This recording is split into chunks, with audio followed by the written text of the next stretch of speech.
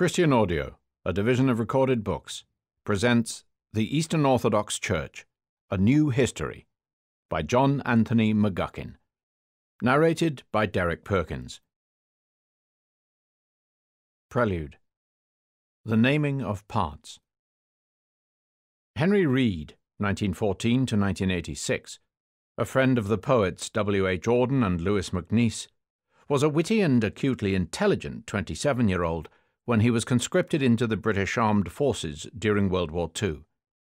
He was set to work, with no previous facility or experience, to serve as a translator of Japanese, and would later quip that the brightest benefit of peacetime was that he would never have to study another word of the language as long as he lived.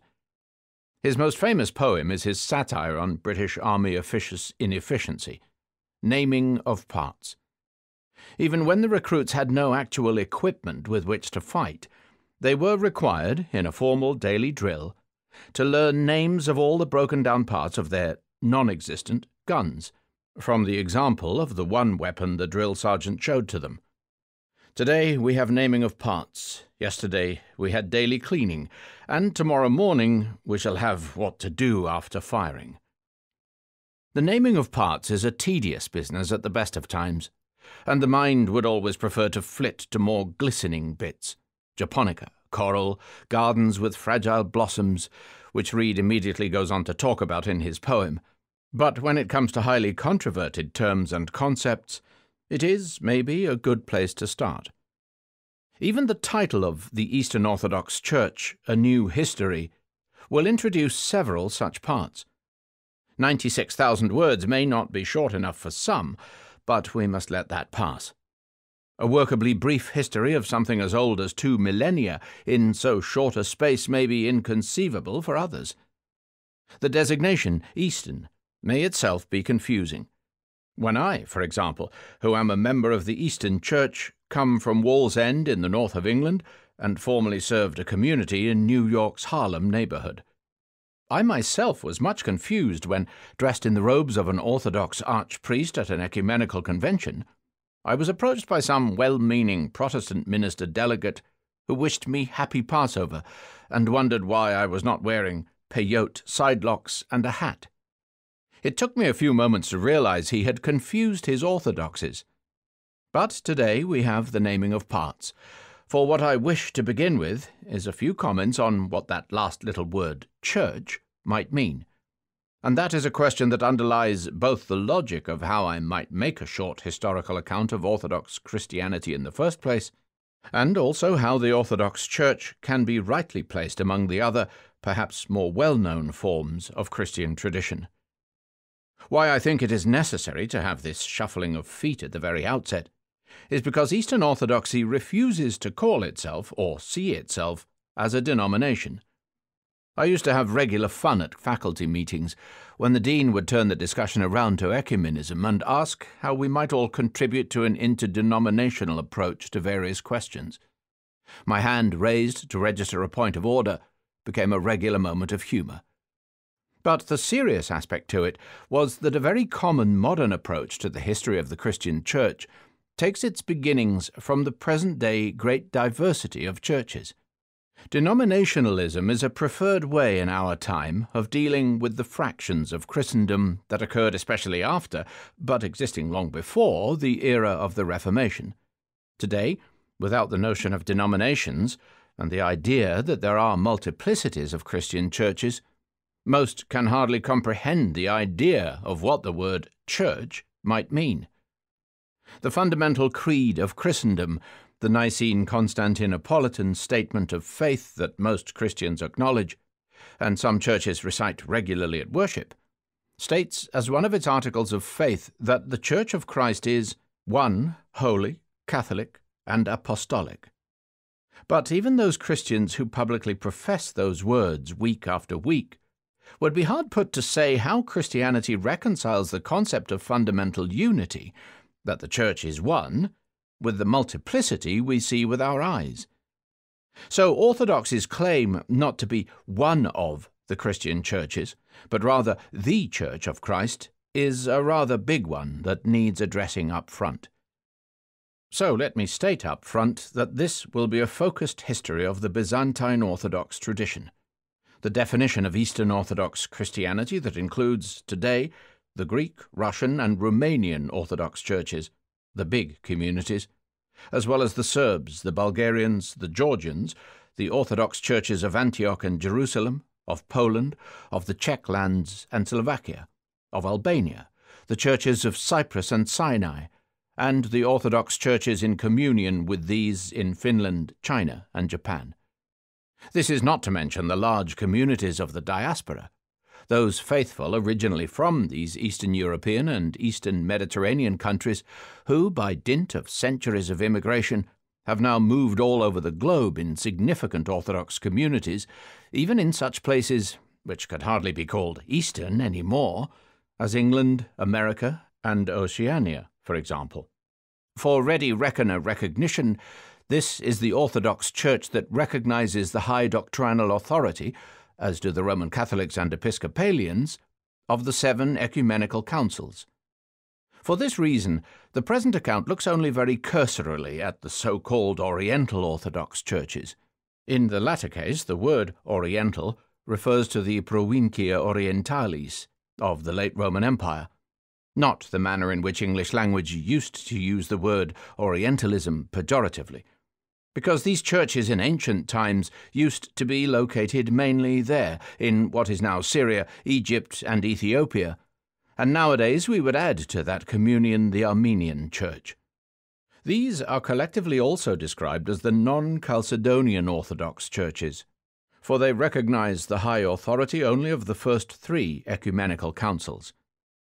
To tell the story of the ancient Eastern Orthodox Church, incarnated in a scintillating array of local churches of different language groups and national traditions, is a task of no small order.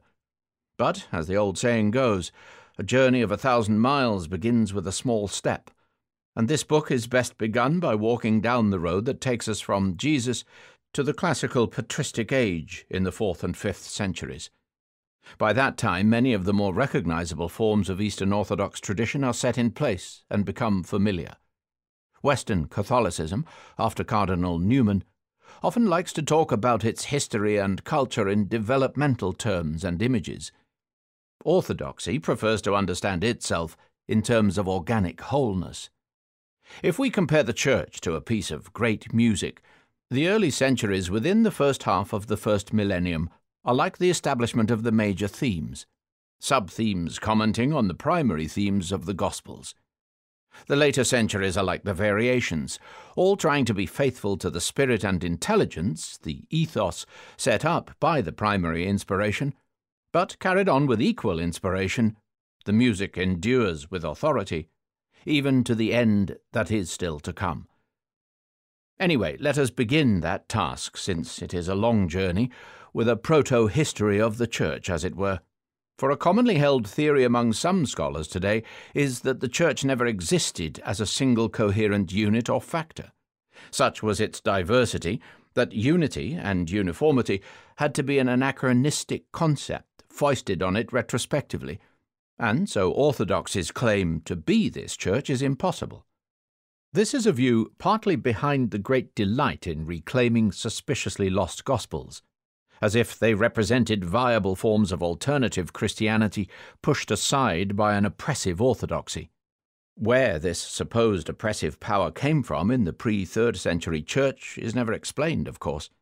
Against the myth that these allegedly lost Gospels, which the church had generally preserved in its record anyway, were of fundamental significance and offered a powerful alternative, I always used to say to students, read them for yourselves and then tell me which, if you had to buy one, would you prefer, the Gospel of John or the Gospel of Truth?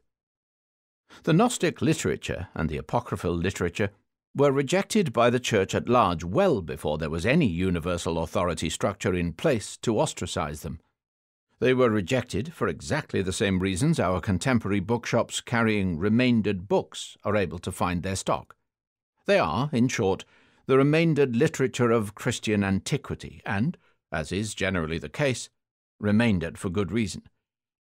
To the claim that there never was a single Christian church with coherent, unified doctrinal positions, Orthodoxy answers, of course. Yes, there was, and we are it. And our history demonstrates that core and essential history of the unified church. This attitude, I would maintain, is universally typical of Orthodox churchmen and women when asked to characterize or discuss their church. Such a stance often causes confusion and maybe even some degree of offence among other Christians who hear it, thinking, perhaps, that this claim that they themselves are the Church somehow implies that all others are not recognized as Christians in their own right, as Roman Catholics or Protestants, for example. But this latter implication is not intended by most Orthodox, who, in this robust and singular sense of being Church, and professing to be the direct and unbroken continuance of the early Church, are more concerned with maintaining and stating what they regard themselves as being, rather than defining what a widely differentiated Western Christianity has become. On the issue of the modern relations of churches, Orthodoxy currently has no universally agreed answer to offer a result, mainly, of its profound isolation from Western Christendom over most of the formative centuries that saw contemporary church relations being formed in the years after the Western Reformation. Orthodoxy regards the great church in antiquity, for most of the first millennium, as comprising, on one side, the Eastern Orthodox world, the Byzantine Patriarchates, presided over by the hierarch of the Church of Constantinople, together with the Slavic Orthodox churches, and on the other side, the Western Catholic Church, presided over by the hierarch of the Church of Rome. To define what is meant by authenticity as a church, Orthodoxy raises up as a canon, or set of tick boxes, a synopsis of a whole set of characteristics that once defined the Church of old, and have been maintained intact into the present. We can discuss these later in more detail, but briefly stated, they would include being closely attentive to biblical prescripts, especially the Evangelical Charter, observant of the decrees and creedal definitions of the ecumenical councils, careful of the spirit and forms of the ancient liturgical life of the Christians, reverent toward the practices and teachings of the great saints of its foundational history, and perhaps in a most homely statement of the crux of the matter, being contemporaneously demonstrative of the radiant life of the Spirit of God in the Church's ongoing quest for purification and holiness of life.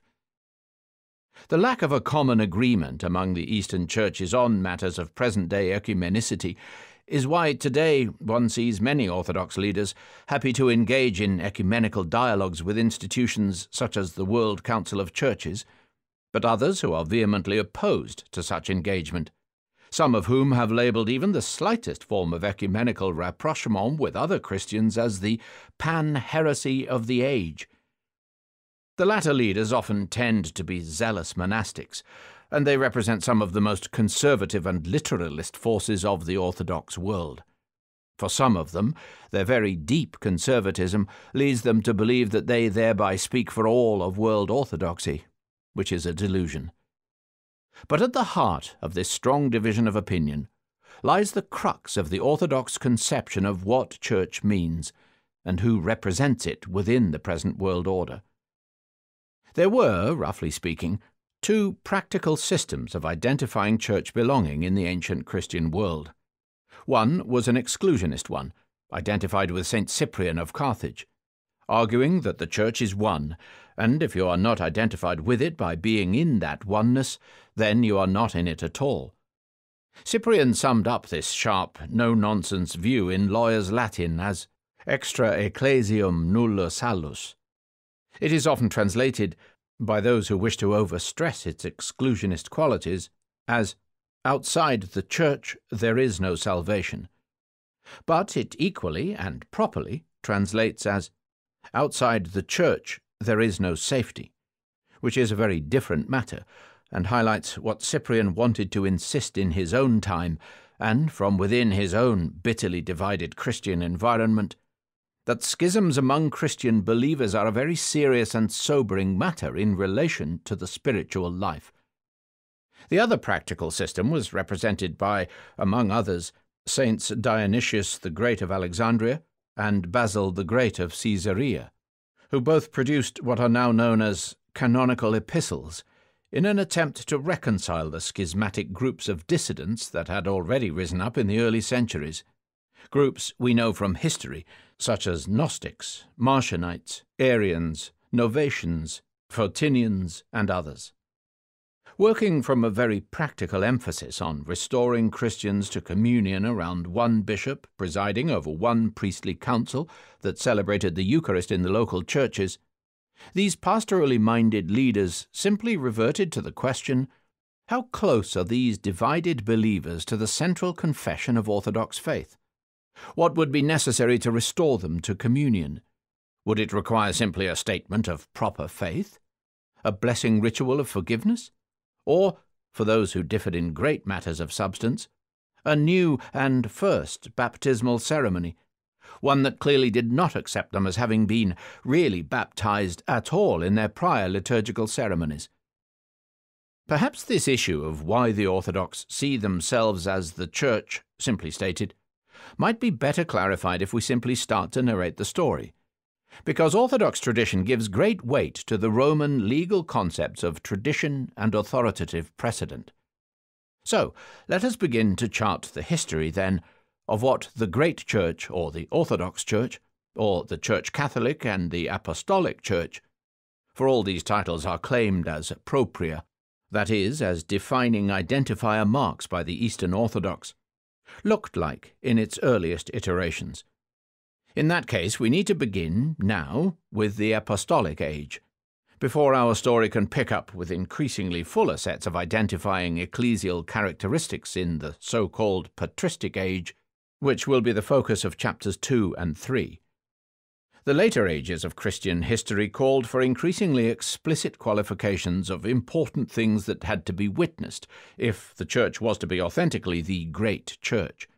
Many of these issues were determined at the highest level of episcopal and imperial consultation, and so they were much more in the light of public debate than the earliest formulations of Christian faith we find in the New Testament and the Apostolic Fathers in the first two centuries.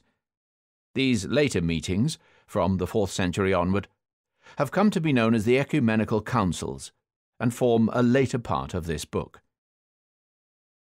The Resurrection Origin of the Church. To understand how orthodoxy defines itself as church, it is necessary to begin with the Gospels. It might be thought, as an initial reflection, that the Christian movement began with the preaching ministry of Jesus, when he assembled apostles, shliachim, as missionaries, and began to gather around him crowds to hear the message, attended by an inner circle of followers other than the apostles, who were called disciples, mathetai, or students. This would clearly make sense.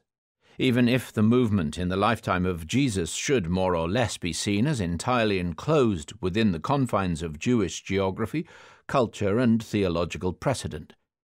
So we could say that the Church begins with Jesus' calling, vocation, of the apostles. This is exactly why the Gospel of Mark begins its account of the good news with the vocational stories of the chief apostles. Mark chapter 1 verses 14 through 20. It has, however, been customary among Christians from ancient times to say that the church, in a fuller sense, began at Pentecost. The classic account of this is given in the prelude to Luke Acts. Here, the apostle tells the story of how the resurrection power of Jesus was extended in two dramatic acts that had the effect of establishing his earthly congregation. The first of these events was the ascension, the second was the descent of the Spirit in the form of tongues of fire. Acts chapter 1 verses 1 through 11, Acts chapter 2 verses 1 through 4. The first event, Jesus' triumphal ascent to the right hand side of the Father's throne, is one of the biblical ways of speaking about his posthumous glorification or exaltation. The scriptural words to denote this glory are manifold. Chief among them are doxa, anastasis, hypsosis, anabasis, New Testament words for glory, rising up, being lifted up, and ascending. These are collectively words that connote the exaltation of the triumphant hero. Most modern readers of the New Testament tend to speak collectively about this aspect simply as the resurrection story, understanding that the term resurrection means more than just the literal semantic of the rising up of the dead body, but expands to include all the various motifs of glorification which the New Testament refers to in regard to Jesus' post crucifixion state. But so to focus on the resurrection word alone, to collate the whole complex of biblical narratives of Jesus' post death glorification, misreads the New Testament teaching. This is because even the events of transfiguration, metamorphosis, Mark chapter 9 verses 1 through 10, ascension, analepsis, anabasis, Acts chapter 1 verses 2 through 11, and Pentecostal outpouring of the Spirit, ekpempsis pneumatos, Acts chapter 2 verses 1 through 36, are meant in the New Testament writings to be understood as the wider nexus of the glorification events following on Jesus' sacrifice. It would take a much longer book to go through the New Testament theology and show how this is the case. So let me take but one example. What St. Luke, for example, in his typical historicizing style of Gospel writing, presents as a linear sequence of post crucifixion glory events first the resurrection, then the appearances of the risen Jesus, then the ascension, and then the descent of the Spirit. St. John's Gospel offers to the reader distinctively differently all as radiant aspects of the selfsame event the return of Jesus to the Father after his death. So, in the hands of the fourth Gospel theologian, Jesus rises from the dead on the first Paschal Sunday, appears to the disciples that same day, tells Mary Magdalene in the garden that he is ascending to the Father, and again on the same day bestows the gift of the Spirit on his apostles with the command to reconcile the world, the Church's foundational mission. John chapter 20 verses 1 through 23. Everything that Luke has tried to spread out on the table in a linear way, so that one could consider the historical sequencing of the parts, John has compressed in a manner that insists they are all aspect events of one and the same eschatological mystery. That is, a primary event that is not bound within the sequence of time limitations, but rather stands as the cause or explanation of that very sequence. New Testament eschatology is a profound theory or philosophy of time transcendence that permeates the Gospel and apostolic writings. It sees in the sacred events of Christ's life and death and glory the definitive movements that have given time its meaning, and thus, in a real sense, transcended it, given it an end, a telos in the Greek, a word that English finds difficult to evoke, insofar as it means both a terminal end and a goal or end object, that is, a fulfillment. The New Testament writers consider eschatology as a completion, teleiosis, of history. And this is why John cannot agree with Luke's linearization and fragmentation into history of what is more rightly understood as an eschatological mystery. In short, rather than talk about the resurrection of Jesus, which is but one part of a wider nexus of events, the New Testament would have us think about the collective of those events that together form the divine glorification, doxa hypsosis, of Jesus. These are difficult ideas to convey quickly, but as the Gospel writings are the foundation of Christian ideas about the Church, and especially crucial to the Orthodox understanding of the authoritative sources of Christian consciousness, it is important to try to bring one's mind around to the fact that the New Testament theologians were generally a lot more sophisticated than we have often given them credit for being, and that they speak in idioms and analogies that are Semitic and often alien to our presuppositions. The overall sense among the earliest canonical writers about the death and exaltation of Jesus is that there is an antithesis of response from God the Father to the sacrificial witness of Jesus' life. Just as Jesus poured himself out in self sacrificing obedience to the Father's will, in a bitter kenosis, a word that means emptying out, so too God gave him in return the fullness, pleroma of glory after his sufferings, raised him up to the right hand side of the heavenly throne, and acclaimed him with the inexpressible divine name of Lord. The New Testament writers customarily use images of a royal throne to express this, with its power and glory now being manifested as shared. The resurrected and glorified Jesus is now shown to the whole cosmos as Lord, who was once regarded as a slave. The clearest example of this way of thinking and writing is given in a very early Christian hymn, possibly written within two decades of the crucifixion, which St. Paul himself quotes. He does not compose it, in Philippians chapter 2 verses 1 through 11. Have this mind among yourselves, which is yours in Christ Jesus, who, though he was in the form of God, did not count equality with God a thing to be grasped, but emptied himself, taking the form of a servant being born in the likeness of men. And being found in human form, he humbled himself and became obedient unto death, even death on a cross. Therefore God has highly exalted him, and bestowed on him the name which is above every name, that at the name of Jesus every knee should bow, in heaven and on earth and under the earth, and every tongue confess that Jesus Christ is Lord, to the glory of God the Father. Here the emptiness of kenosis is clearly balanced antithetically against the glorious fullness, pleroma, of exaltation Jesus received. What, then, does this woefully brief synopsis of New Testament teaching on the glory of Christ tell us about church? In short, I would say this. We are meant to deduce that the apostolic preaching that flows from the Pentecostal Spirit and that first initiates the Church's mission of reconciliation on earth, is itself presented by the New Testament as a fundamental part of Jesus' resurrectional glory. This is partly because the prime arena of where the dominion of Jesus as Lord, his doxa, is manifested in history is the Church, his special communion of followers and disciples who thus form an abiding presence in this world of the dawning kingdom of righteousness and peace he promised throughout his preaching. The New Testament teaches, then, two significant things in relation to the Church. The first is that it is a mysterious and transcendent part of Jesus' lordly glory, an eschatological reality, not entirely reducible to a historical or sociological phenomenon, the number of people at any given time who claim to be Christians.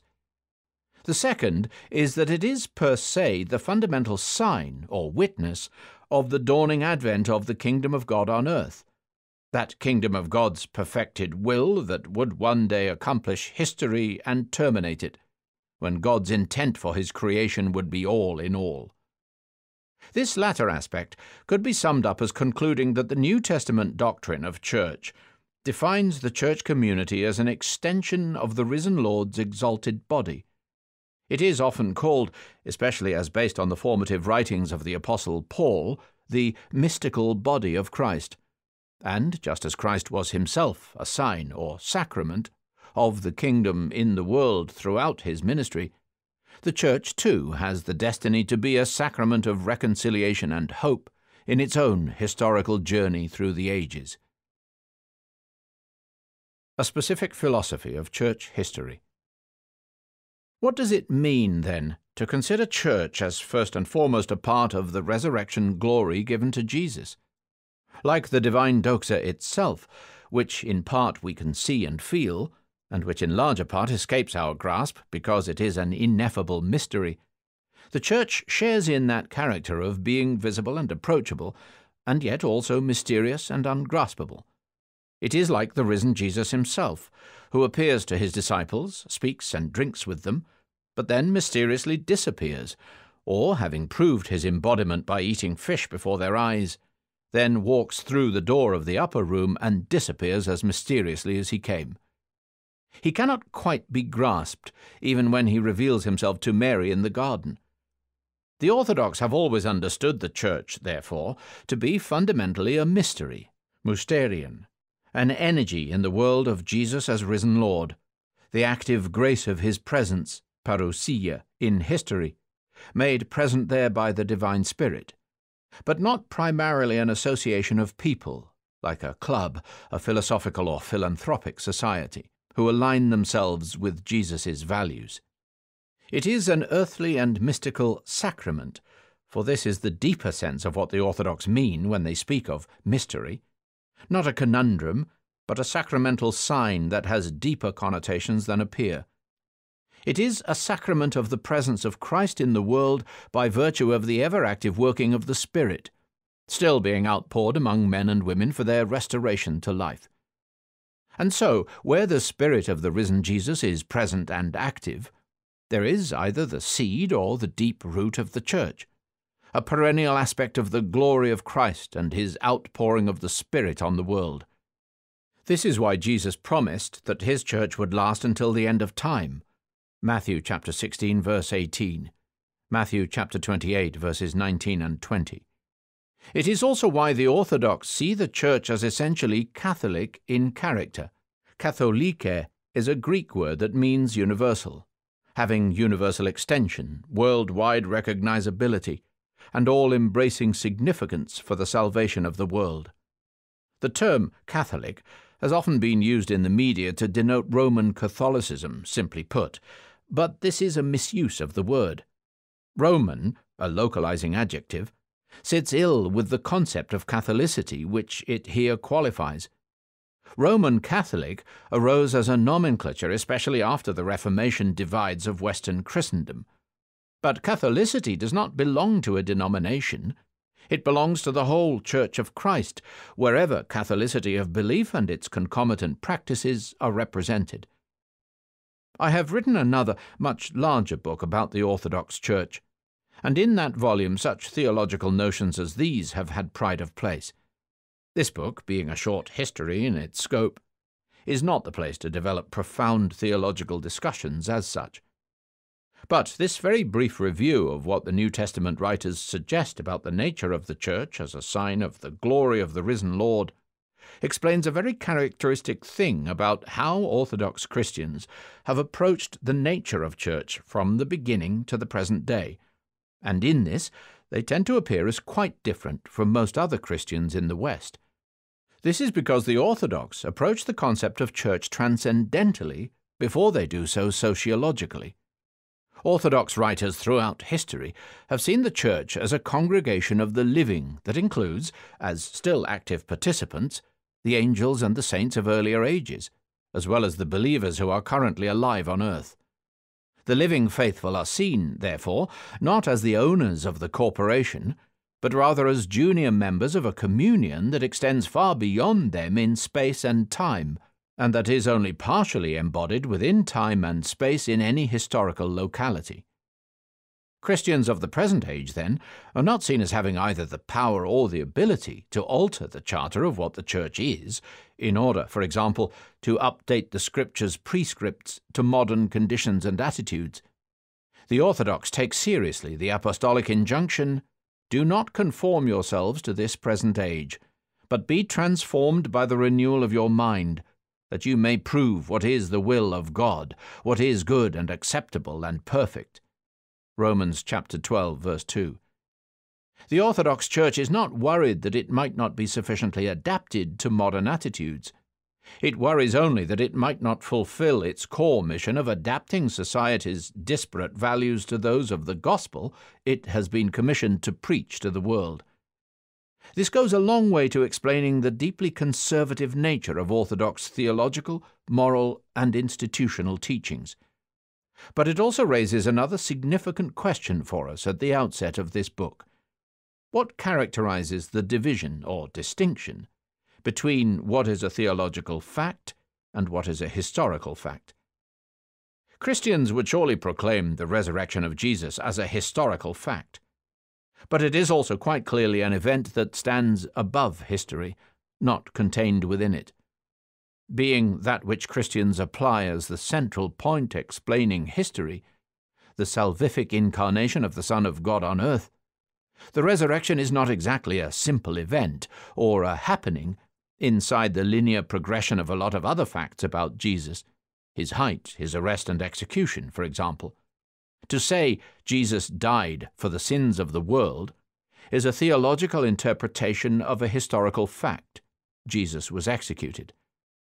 One of the Jewish priests present at the crucifixion, and hostile to what Jesus stood for, would surely be able to bear witness to the historicity of the death of Jesus, but equally would surely not have confessed that this rather brutal execution was the core event of the covenant with the God of Israel. Only Christian believers would admit the latter. What divides them is the interpretation of the event. But, evidently, neither friend nor foe can here avoid making an interpretation of the event of Jesus, the Christ event that stands at the very heart of what the Church is, too. Believers confess that their interpretation of the life of Jesus, making the cross and resurrection literally the crux of world history, is the correct interpretation, the Greek word for which is orthodoxy, meaning right opinion, and thus the essential truth of that moment in history. Non believers will say that this is not the correct interpretation, and they might substitute a range of other possible ones. One recent author expressed this issue starkly when he subtitled his study of the history of Jesus, The Life of a Mediterranean Jewish Peasant. An Orthodox believer would find such an approach not only objectionable, but also fundamentally misguided in the radical separation it makes between Jesus in his earthly, kenotic ministry up to his death, and Jesus in his heavenly glory after his resurrection. Central to all Orthodox thought about Jesus, Christology, as it has come to be called today, is the insistence on the hypostatic unity of the person of Jesus, at once Lord of the ages and suffering servant of God the same person simultaneously one of the Trinity and a suffering human teacher. Writers who like to dismiss all theological notions, or banish them from the field of history proper, of course like to believe that only they can get to the real history of events or people whom religious sentiment has smothered under layers of pious fancies. Cut away the theology and get back to real history is the order of their day. But in making this presupposition, the dismissers too have already supplied their predetermined interpretation of Jesus, while pretending this is a balanced or neutral analysis, in their case, a heavily secularized non theology. And they too, proceeding from such presuppositions, have then to excise all, and it is a great deal, most in fact, that is theological from the New Testament narratives our primary sources of knowledge about the history of Jesus. Their method of excising from the account all that has any appearance of the transcendent about it leads the dismissers not to the simple evidential core of the narratives they pretend to expose as objective historians, but rather to the heavily Bowdlerized version of the events they are willing to read out of the partialized whole cloth of the material. At worst, they decide what they will find according to set out prescripts, and then they put it out on display with the panache of a magician pulling a bunch of flowers from a hat. But all the while the flowers were here, prepared in advance, as it were. The method is circular, and this is exactly why the so called quest for the historical Jesus has, over two centuries of pursuit, with each generation of scholars claiming at last to be free from prejudice and presupposition, turned up so very different and such thin pictures of the alleged real Jesus of Nazareth. And so it is necessary from the beginning to admit that the Orthodox insist that church history is quintessentially a theological reading of historical events. It begins, as do the foundational sources, with Jesus of Nazareth, who is not taken as a Mediterranean peasant, but rather taken as the Son of God. It focuses on his birth, which it reads as the incarnation of the divine in history. It studies his cross and resurrection as one event of sacrificial death and glorious exaltation, and likewise it reviews the ongoing life of his church as the unfolding manifestation of a supreme eschatological action within the vehicle of linear history, that tension of the ecclesia, the church, acting within history and yet called to transcend it. In short, an orthodox approach to the Church works off the presupposition that God is Lord of world history, that Jesus is the divine Lord, that His Spirit continues His work of grace among humans, that His Church represents the destiny of the human race, insofar as a particular material species of life, humanity, is called out of its natural limit, death, and impermanence, to rise into immortality. These are absolute givens of any Orthodox theology, or of history for that matter. It amounts to what can be called a prophetic reading of history, and to this extent, Orthodox Church history is fundamentally shaped in its character by the selfsame motives and methods that created and developed the biblical narratives. That is, reading the world events as part of the teleotic acts of God within the cosmos. All Christian church historians in antiquity shared this biblicist view of history and seamlessly combined their historical statements with the interpretation of how this story of the Church's life manifested its accord with God's plan. This was true among Christians from the first evangelists, of course, but applies clearly and explicitly from the writer of Acts onward, arguably the first church historian, who certainly designed his account as a sacred history.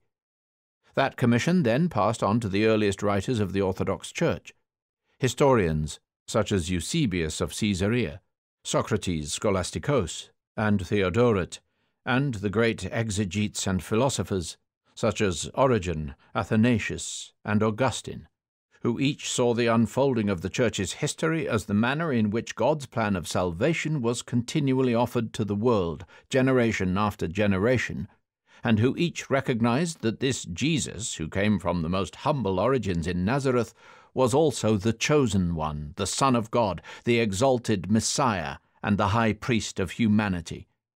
Like the very first disciples who knew Jesus personally, the Orthodox Church, in its writings and its confessions of prayer, maintains that this Son of Mary was also the Lord of glory whom Peter spoke of at Pentecost.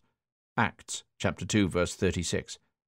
Let all the house of Israel therefore know assuredly that God has made him both Lord and Christ, this Jesus whom you crucified.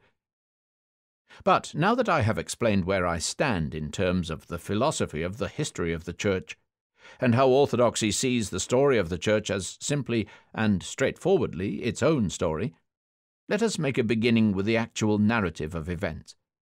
As this will deal predominantly with New Testament evidences about the Church, what the Orthodox see as their foundational charter, let us divide this next chapter into two parts the first about proto apostolic times, and the second about the immediate post apostolic developments.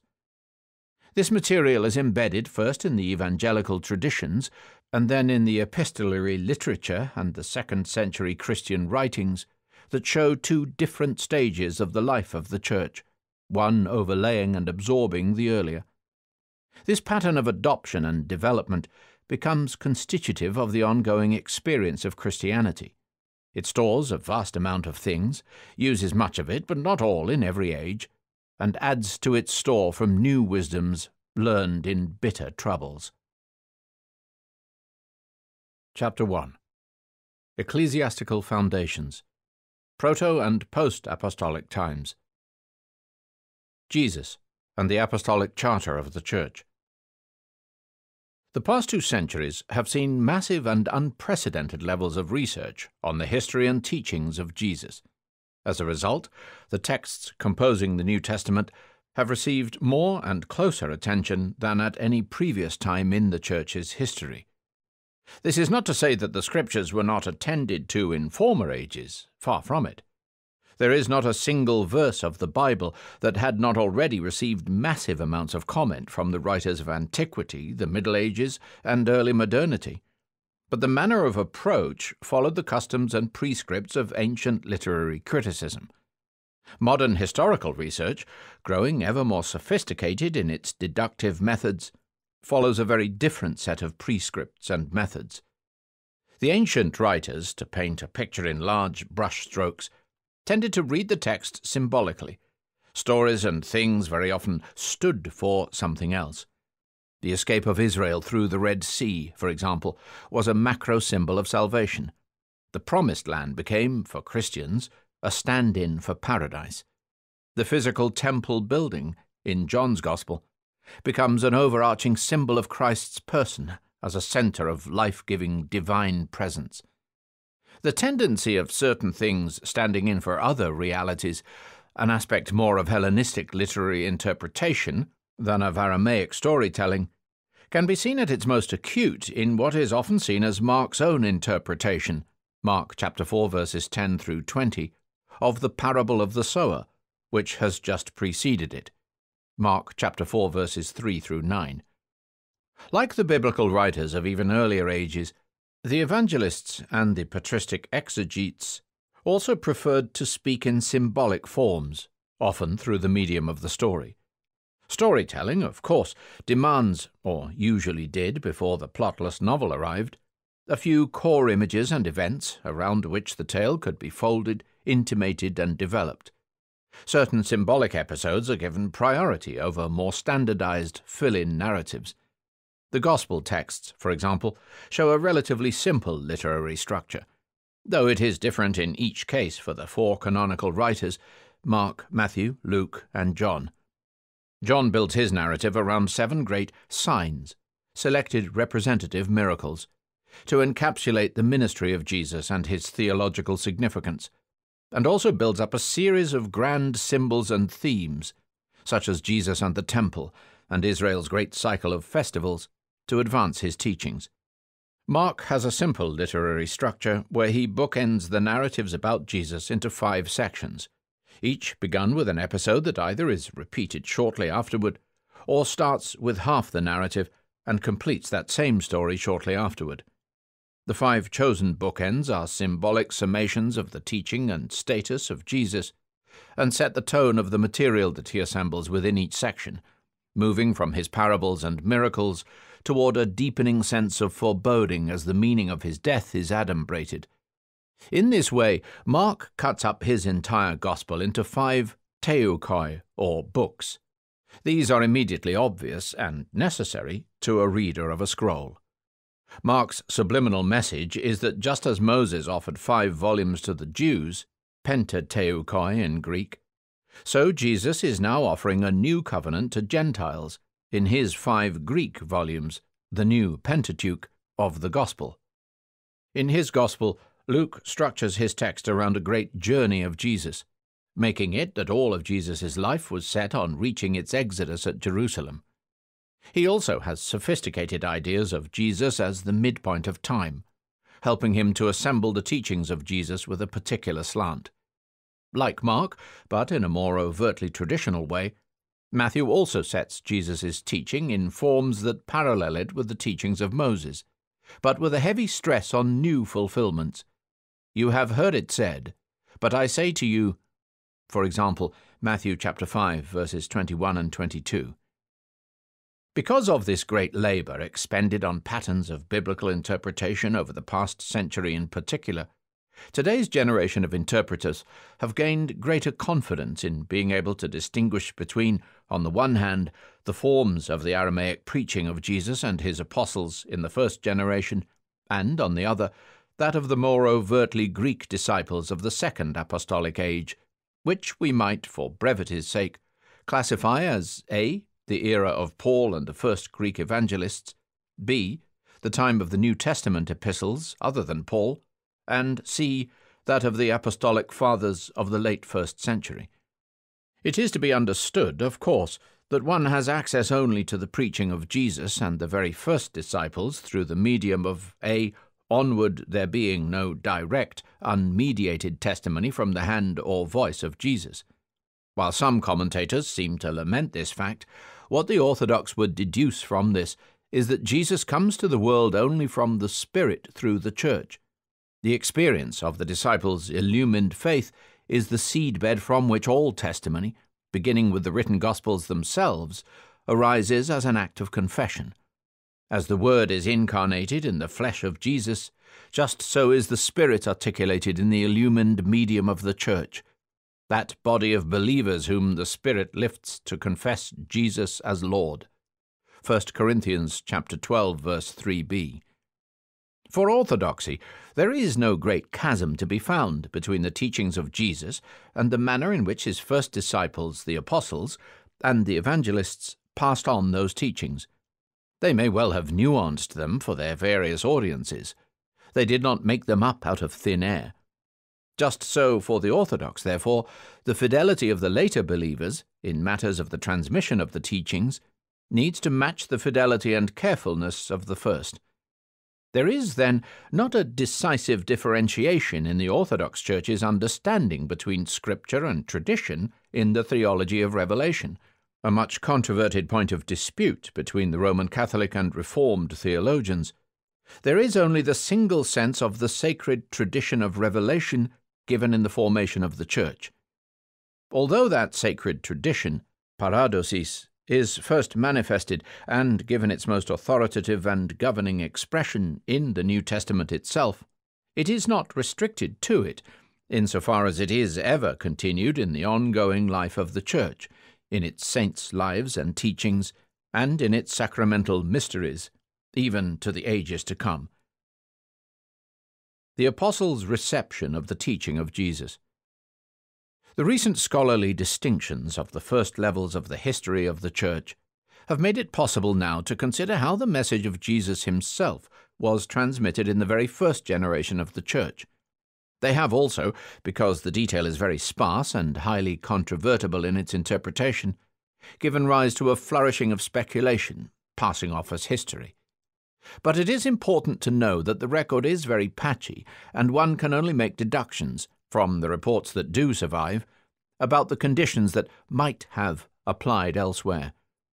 In relation to the life and teachings of Jesus, however, it is generally agreed that the burden of the Lord's own preaching was the message of the proximity of the kingdom of God, and the need for a readjustment of attitude among the men and women of Israel in the light of that news.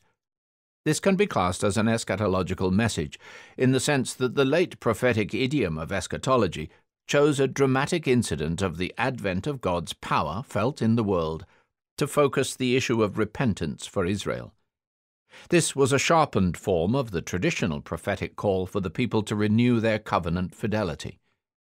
Many modern German and English speaking commentators had been led astray by Albert Schweitzer, writing in the early decades of the 20th century, to overstate Jesus' messianic apocalypticism. But that influence has fast been waning, and rightly so. For it is equally clear from abundant evangelical evidence that Jesus was more than a preacher of end times, and very much a teacher of repentance as the way to covenant restoration, as well as an interpreter of the Torah in the wisdom, Sophianic tradition of the Old Testament. Repentance, metanoia, was the first recorded word spoken by Jesus. Mark chapter 1 verse 15, and reappears throughout all his teachings in a variety of images and stories. It is characterized perhaps most of all by that change of heart witnessed in the famed parable of the prodigal son. Luke chapter 115 verses 11 through 32. Mid 20th century approaches massively overstressed the identity of Jesus as an apocalyptic prophet but it is clear from the whole cloth of his recorded life and teachings that moral exhortation, exorcism, healings, and other great prophetic signs, and a good deal of Sophianic material, were equally a constitutive part of Jesus' deliberate ministry. Recent studies have also drawn attention to the manner in which the Greek Gospel writers highlight Jesus' role as moral teacher, comparable to the Greek sages of old. What looms over it all, of course, in the way the evangelists received and represented the Jesus story in their various Gospels, is the great passion and resurrection account. In Mark, it casts its shadow over the entire narrative. Twenty percent of the whole story of the life of Jesus is given over to his last week on earth, and in all the other Gospels the Passion story looms almost as large. The message Jesus preached of the advent of the kingdom called on his contemporary Jewish listeners to return, Hebrew shuv, to the God of the covenant in a renewed dedication. He offered signs of his authority to be the one who called Israel back to God's favor, in the style of the great prophet Elijah. In his day, illness was seen as a demonic assault on the well being of a trapped soul. So it was not healings and exorcisms Jesus offered as signs of his theology. It was rather a consistent set of exorcisms, the healings to be included within that category, acting out the overall message that as God had once more, and wondrously, drawn near to Israel to call out to it, just so Israel needed to soften its heart and find forgiveness. This return to God would be like a return to life, a recovery from paralysis, a gaining of sight from former blindness. The powerful acts of Jesus, pace Morton Smith, were not done in the mode of a Hellenistic magus, a magician who wanted to dazzle and impress an audience by superhuman power, but rather in the manner of a teacher of virtue showing how much a life turned away from God was a living death. There is a great and humble understatement in the works of Jesus that is wholly missing in the vast, surviving records of Hellenistic magic, and always an underlying theological pointing to the way the deeds reminisce the presence of God as felt in the earlier prophets, especially Elijah. The deeds support the message. The message is encapsulated in the healing and liberation that are effected in the deed. The parables of the kingdom show this message more expansively in narrative form. All turn on the surprise of God's advent, that it is so close, and that it is so generously abundant in its promise. Many of the stories Jesus tells revolve around the theme of the wedding banquet, one of the few times in a year in a typical Galilean village when most of his first hearers would ever have more than enough to eat and drink. Core to Christ's own theology of the kingdom was the idea of the great joy one found in discovering God's reconciliation. It was like finding out to one's great surprise that God was a prodigally generous father, ready to throw a rich robe over the wastrel son, or a giver of harvests that offered a hundredfold return for the small capital expended. Clearly, toward the end of what was possibly only his second year of preaching this kerygma or proclamation of joyful repentance, that was the one thing that mattered. Jesus learned that many of the leaders of the people, especially the temple priesthood, rejected his view of God's benevolently merciful fatherhood and a need to establish reconciliation that went above and beyond any sacrificial cult, and instead insisted that the only way to God's favor was the established path of the Torah regulations, in particular the expensive temple sacrifices. These legal regulations had accumulated over centuries to become increasingly burdensome for an observant Jew in Jesus' day. But this path was represented by the Pharisees, who generally found the doctrines of Jesus and his attitude to God's merciful benevolence to be dangerously lax and disrespectful of the law. As Jesus moved toward Jerusalem for his final Passover there, his sensibility that he was risking his life for his teaching grew ever stronger. Even so, he was driven onward by his sense that he was God's chosen agent, or shaliach, the apostle of the Father, sent directly by him, just as he himself had selected the disciples to be his own apostles, shaliachim. For Jesus, this sending contained with it the authority, exousia, of God Himself. His sense of being the messenger of God was distinctly different from a sense of hired servant, although his obedience to the Father was profoundly marked. It was coloured through and through by his awareness that he was the beloved Son of the merciful Father, and the essence of the faith the disciples had in him from the very outset and have retained through all subsequent history, is that this insight was not only true, but truer in a fuller sense than they had realized before his death, and it was shown in his resurrection glory to be the quintessential summing up of his doctrine of the reconciling kingdom.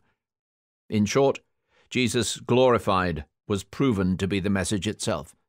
His death and glorification were the deeds that made the new covenant of reconciliation. His cross opened the gate of paradise.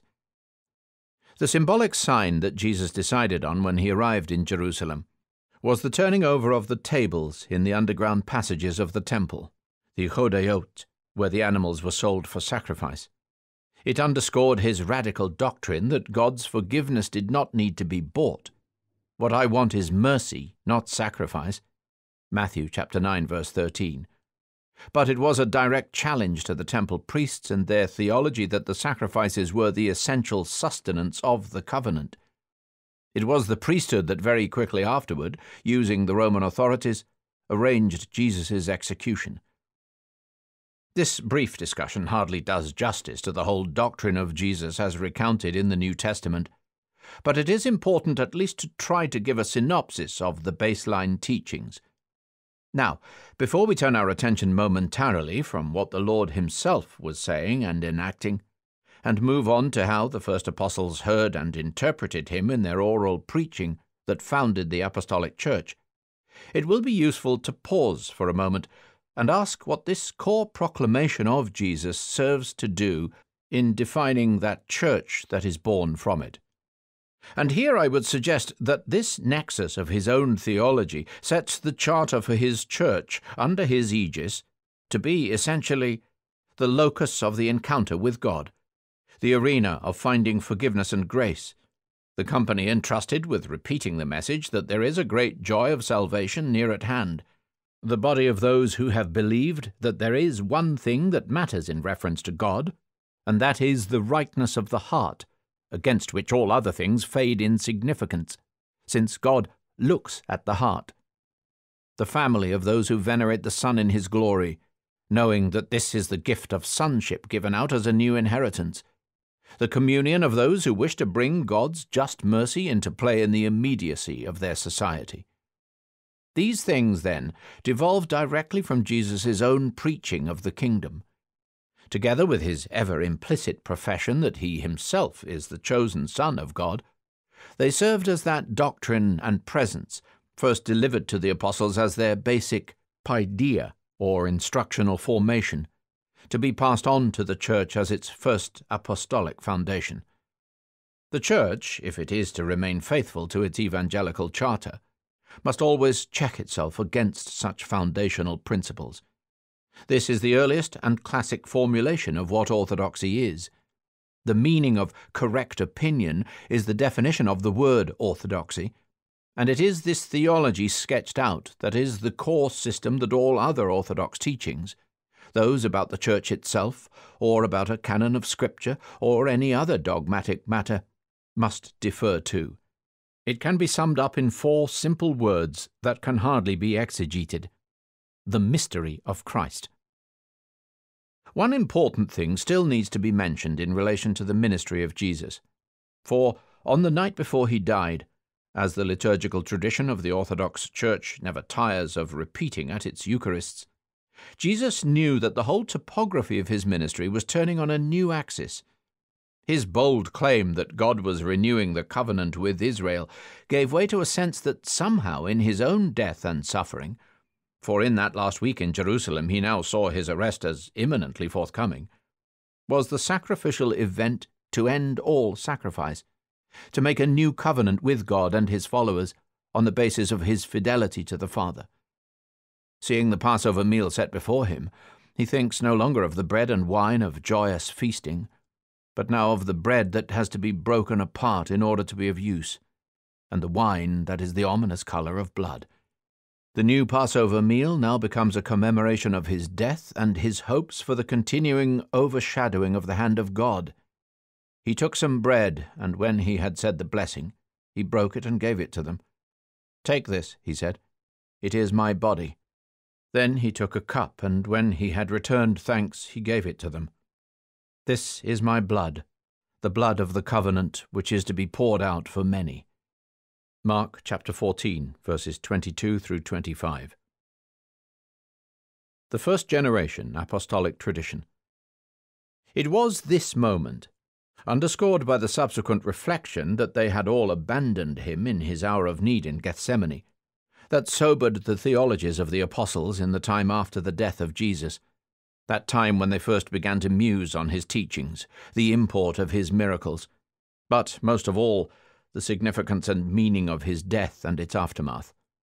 This Last Supper, which is called in the Orthodox world the mystical supper, was the pristine lens through which all of Jesus' life, acts, and teachings were now to be focused for the apostolic generation. It is this apostolic tradition that is eventually crystallized in the New Testament texts by the time the next generation comes. Then it moves from Aramaic to Greek.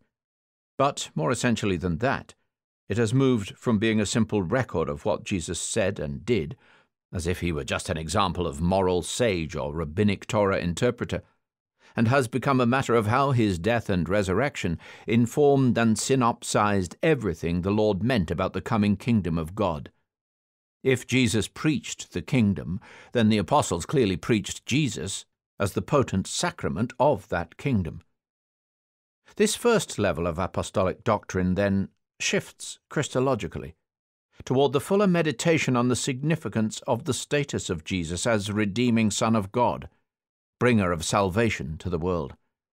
This constant pushing of the Christological question, first elicited from the apostles by Jesus himself, Mark chapter 8 verses 27 through 29, becomes the leitmotif of the first generational apostolic teachings that have become enshrined subsequently in the form of the Greek text of the New Testament.